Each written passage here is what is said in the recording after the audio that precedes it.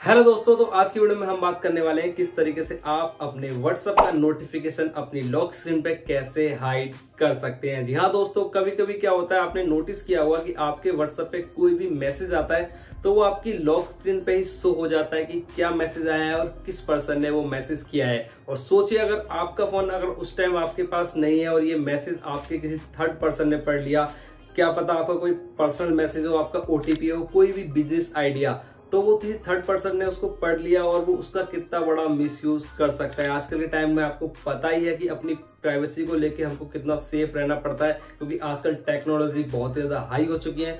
कोई भी आपकी पर्सनल चीज़ों का मिसयूज कर सकता है। तो किस तरीके से आप ये व्हाट्सएप पे आने वाले नोटिफिकेशन को अपनी लॉक स्क्रीन पे कैसे हाइड कर सकते हैं। फुल वीडियो में आपको समझाने वाला हूँ तो वीडियो को ध्यान से देखना आपके लिए काफ़ी ज़्यादा इंपॉर्टेंट होने वाली है। तो चलते मोबाइल की स्क्रीन पे, वहाँ पर आपको डिटेल में समझाऊँगा।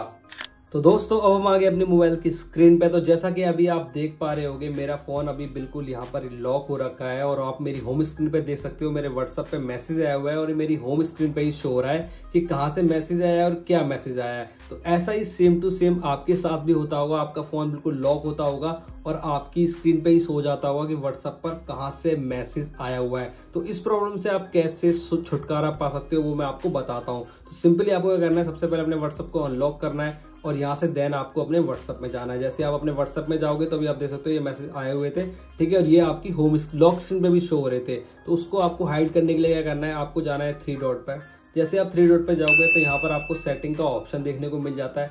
सेटिंग का ऑप्शन आपको जैसे मिलेगा देखने के लिए, यहाँ पर आपको ऑप्शन देखने को मिलेगा प्राइवेसी जैसे आप प्राइवेसी वाले ऑप्शन पे जाओगे तो स्क्रॉल करके आप नीचे आओगे तो यहाँ पर आपको एक ऑप्शन देखने को मिलेगा फिंगरप्रिंट लॉक जी हाँ दोस्तों, ये ऑप्शन आपको देखने को मिलेगा। कभी कभी हम इसको ऑप्शन को इसलिए नहीं छेड़ते हैं कि हमको ये लगता है ये फिंगरप्रिंट लॉक है, लेकिन आपको सिंपली इस पर एक बार क्लिक करना है देन यहाँ से इसको अनलॉक पे क्लिक करना है और यहाँ से आपको अपना फिंगरप्रिंट इनेबल करना है तो नीचे आपको एक ऑप्शन यहाँ पर आपको देखने को मिलेगा सो कंटेंट इन नोटिफिकेशन ये आपके में ऑन होगा सिंपली आपको इसको ऑफ़ कर देना है। इतना ऑफ़ करने के बाद आपको आ जाना है बैक और बैक आ जाने के बाद अभी आप देख सकते हो मेरे स्क्रीन पे कोई मैसेज नहीं है व्हाट्सएप पे। ठीक है, मैं अपने फ़ोन को लॉक करता हूँ और अपने इस नंबर से, इस फ़ोन से, इस फ़ोन पे मैसेज करता हूँ। ठीक है, अभी आपके सामने मैं यहाँ पर मैसेज करके दिखाता हूँ। अभी आप देखोगे कि व्हाट्सअप पे मैसेज तो आएगा, लेकिन यहाँ पर ना नाम शो होगा क्या किस कहाँ से आया और ना ही मैसेज शो होगा। तो इस तरीके से आप अपने व्हाट्सअप का कोई भी मैसेज अपनी लॉक स्क्रीन पे हाइड कर सकते हो। तो दोस्तों, ये आपकी प्राइवेसी के लिए भी काफ़ी ज़्यादा यूजफुल है। तो जल्दी से जाओ, इसको अपने फ़ोन के अंदर ज़रूर अप्लाई करो।